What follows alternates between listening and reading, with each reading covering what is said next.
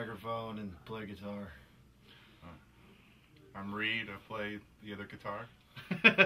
I'm drums when I play the other drums. Josh. Was it, was it two years? A little over two years.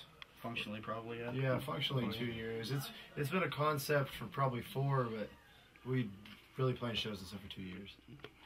Ooh, I think the best uh, quote we've ever got was "Angry Pink Floyd." I think that's uh, Angry Pink Floyd and really and heavier Tool, which Yeah. is not quite fair, but I still liked it. yeah, that's the best way to do it.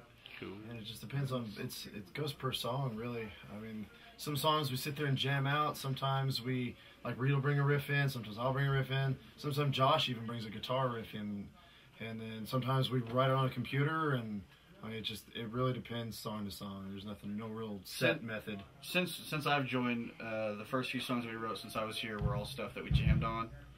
Um, I play in a techier band that writes stuff out, and I think that's kind of inspired other Yeah. writing processes. Yeah, it's influenced us definitely, processes. and we love it.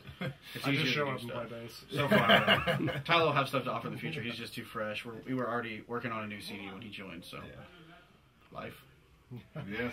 Can't imagine doing anything else. There's Yeah. It's in my blood. It's Yeah, playing I mean- heavy.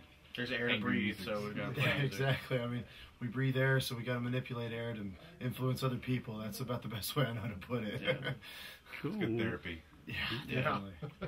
Uh, BreaBand.com. Uh, you can check that out. It forwards you to the Facebook page. Facebook has got links to, to the Bandcamp, Reverb Nation. If you go on YouTube, we have a music video, uh, Redemption 2.0. If you check that out, uh, I think that's about the only material we have on YouTube. It's the most current music that we have. Yeah, up. yeah, definitely. Still That's- missing that's- Tyler, but it's still got the sound that we have now. We do have a new album coming out uh, the, towards the end of the year, maybe late fall, early winter. Um, we're having a new album come out. We're uh, producing it by Josh Newell. We're flying him out to Austin. We're going to start it in, in fact, just a couple weeks. So Two weeks. Yeah. Two weeks. Yep. We'll have that online as soon as possible. When the drugs begin to take hold,